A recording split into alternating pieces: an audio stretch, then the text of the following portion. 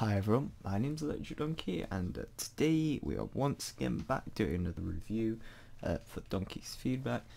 Now, today we are going back and re-reviewing another game.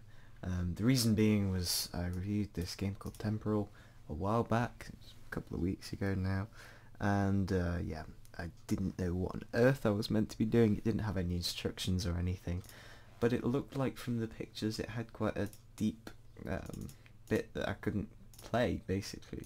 So uh, after talking to the developer, who is Lumini, Lumini, Lumini, um, basically he's made a load of updates and changed a lot of things. It's not really much here, but um, apparently this all been kind of changed around. It should be relatively easy for me to understand what's going on and hopefully have some decent feedback this time.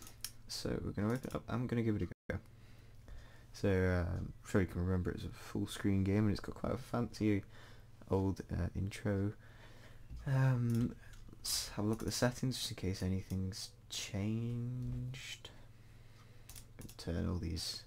Well, we'll leave them on for the moment as long as they're not they're not bothering us. Gonna up the uh, screen resolution. Oh no, doesn't go up. Okay. I guess we'll leave it on that then. Uh, art information doesn't do anything. No, it does.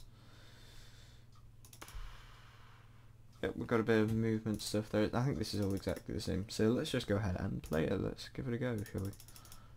This is something that I never got. It took ages to try and uh, get it to work. I did actually play the first level just to prove it was working.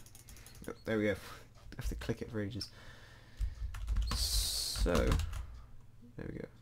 Basically, uh, on the first time around, uh, I should try and show you again, but I did this level a while ago. Basically, when you first do it, when you go over that, it tells you to press the up um, button, which in my case is W. Now, that was quite handy. I don't know if by it telling you basically there, and it made it a bit clearer and it made it so we can actually play it and give it a go. So it is, it is slightly weird controls to be honest. I'm more used to either using the W to either um, jump or move around or something. It's quite weird for me to press that use space to jump and then press the up arrow as well. It feels slightly weird to me. Um, maybe you could redo it so it's another button, maybe enter or something, because you don't really need the mouse button. Uh, you don't need your hand on the mouse for this, apart from to click them. It's about all you need it for. So, yeah. Um, one other thing I would say is try and attempt to get the higher resolutions there. So, in my case, 1080p yeah so again it's based on timing so I've got to get over there in a certain amount of time or I lose out. I have lost so yeah lost there um, right what let's think about art now. Uh, I love the art actually. It's really nice especially the particle effects when you die and stuff. Um, they're pretty nice. Um, the character itself pretty unique, um, different. But there's one thing I specifically do not like, and uh, that's the portal things. Now, the reason I don't like them is... I'll try and... If I can get through this level, I can perhaps have an easier one to show you guys on.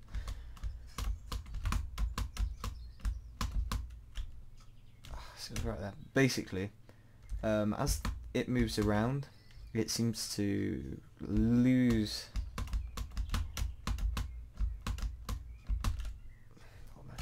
Um, basically, this whole art style has an element of smoothness to it. It's quite smooth, it's quite cute, it's quite uh, neat like that. When you go near that, it's alright until it starts moving. When it starts moving, you start to see... There we go. You start to see that it's got sharp edges and it starts to kind of break it slightly. You see when it's moving around there. Um, so that would be something very, very minor, really. Everything else, it's got that smooth kind of blocky feel to it, I quite like. Um, now, I presume there's quite a lot of levels. I think there's about two worlds worth of levels. So there's enough to get you going um, on that aspect. And the game itself is very unique. It's very different. Um, it's not something I can say I've ever really come across. I've come across time trial, trial games kind of thing before, but never really one where you have to do this kind of stuff, and it's quite quick as well. Um, reminds me of another game maker game actually called Ninja or something. Um, and yeah, that was a very successful game maker game. So basically, what I'm saying is, it seems quite good. It seems quite unique, quite different. Um, I like the art style. I love the art style actually. One thing I might just say is the jumping feels a little bit sluggish, perhaps, but maybe that's just because you can't go magically flying around in the middle of air. Um, it, it feels sluggish to me, but yeah, I mean that's maybe another thing is, and this is quite a big thing actually, but um, that instead of having to press the up arrow when you go near it, that you just have to like go near it and it kind of sucks you in. So I think that would maybe be something to consider. I'm not saying you should do it. I'm just saying to consider it because you might want it that way. There we go, done that one. But you can see that kind of annoying. Um, it's interesting colour scheme. I can't really say I dislike it. Quite nice. And I do like the overall blues of things. See, yeah. I presume these start to get more and more complicated. I like the dash mode from the shop to proceed further. Okay, so we're to have to go to the shop, apparently. Let's go to the shop, shall we? Why not? We've got the quite unresponsive um, thing, UI kind of thing. Okay, we're going to buy that. Can we buy another one? No. Okay, we're just going to do one more level if possible. Um, we're just going to quickly see how many worlds there is. Okay, there's three worlds. Um, we're 26% of the way through, so it kind of gives you a judge of how long each world is. I think there's probably about quite a few, quite a few. Um, about a quarter of the way through. How we dash then? Okay, that's how we dash. We press that. Okay. Hmm. Well, anyway, I don't think we'll be able to do that.